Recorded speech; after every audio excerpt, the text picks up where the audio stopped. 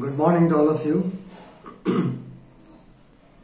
While telling the jurisprudence class, I have informed you about the custom while discussing the sources of law.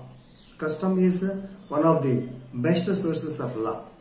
Custom is the habit, first it becomes a habit, then it becomes a culture, and now it's called a custom. It is in practice from the time immemorial. Suppose if I wanted to question a person who brought the custom, then normally that person may not be, will not be available, I'm sure, because it is age old. So some thousands of years back, uh, this has been uh, coming to the practice, and it is allowed as per law. Only, please remember, only good customs, not bad customs. we all know that Prevention of Sati Act. Sati is a custom. Suppose if the husband dies, the woman lights herself on the pyre or she falls on the pyre and gets self-immolated. But it is a bad custom. It is against to the law.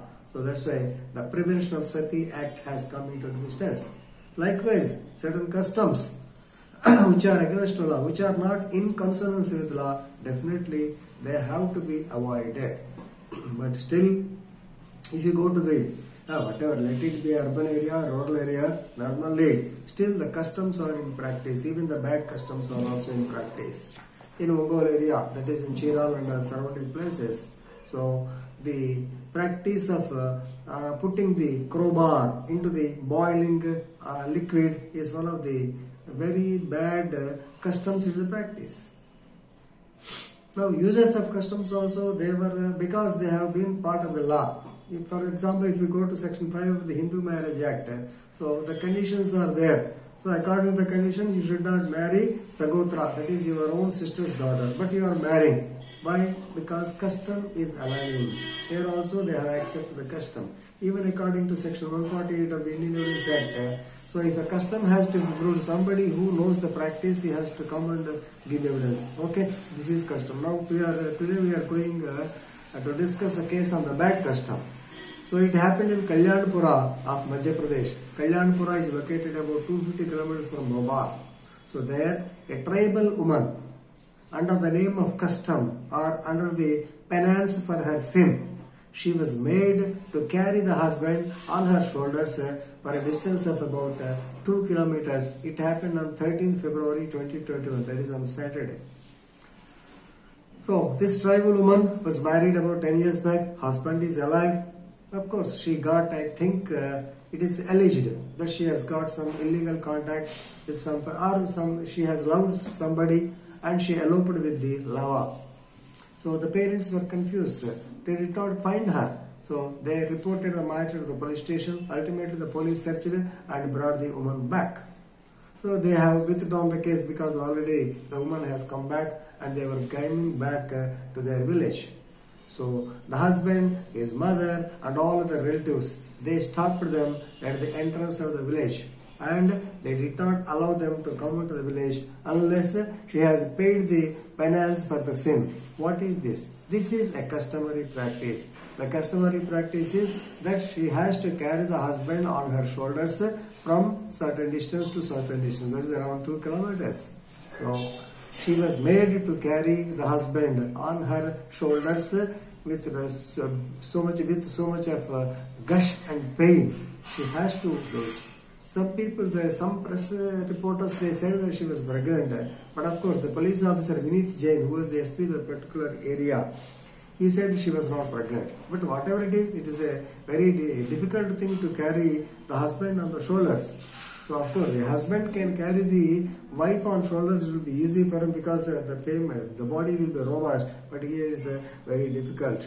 So after going away, from the house after eloping with somebody. After 10 days she was uh, uh, traced and when was she was about to be brought back so this incident has taken place. This is against to the societal aspects right? She was so the video went viral. The video depicted that uh, while she was carrying when she was not able to carry the husband they have been uh, hitting her with the cricket bats and also sticks up to the village border. So large number of the people followed her because they believe that uh, that is the only so a woman who committed a sin, she cannot be accepted back in the society unless she carries the husband on shoulders. So and she has to uh, hold or she has to with, uh, withhold the humiliation all along the way. They will not keep quiet. They will be beating her. They will be using harsh words against her. And like that, she has walked for about a distance of uh, one kilometer. I think in some press, uh, some papers, it has come as two kilometers. Whatever it is. So, so many people have taken the video, but nobody raised his voice against this custom. After the video became viral, then the police swung into action and they have registered cases uh, against the people and arrested them also. Of course, cases is quite common because it is against the law. Even though you say that it is a custom, if it is against the law, if it is not in consonance with the law, if it is uh, ag- not uh, in terms of uh, the uh, law, definitely uh, the police can register case. The police now register a case uh, under sections 355 that is causing injury to dishonor a person. 354 is uh, outraging the modesty of a woman. 355 is causing injury to dishonor a person. Likewise, 323 it is also you may be knowing causing simple injury. This is one year punishment. 355 is uh, I think for two years punishment.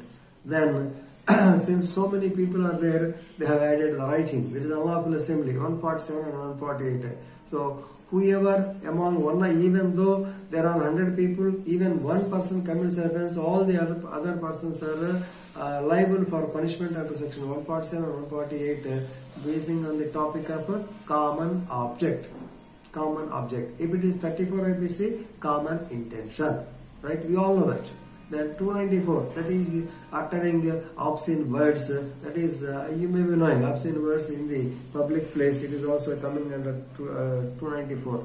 And uh, I think she was subjected to humiliation also. I don't know why. Section they have added section 498A IPC also. Section 498 is about, the cruelty towards woman or dowry harassment. Normally we use it for dowry harassment. Here they have they might have used it uh, because they she, that woman was showing shown cruelty by all these people. Anyway, the case is there. The law will take the case to the logical and to the different thing. But uh, here, see how bad the things are. Where are we? Still under the name of custom, we are making the woman okay. No doubt she has done a mistake. Right? Okay, give her divorce. There is a legal procedure. Give her divorce and then why taking her into the society and asking her to pay the penance uh, for her sin? It's not correct. So please remember, as advocates, we have to enlighten the society. Suppose if such bad practices or such customs are there, you have to try to live them in the buds itself and you have to enlighten your uh, clients uh, not to follow blindly such customs. For this purpose only, I made this video. I think you will appreciate this. Thank you very much.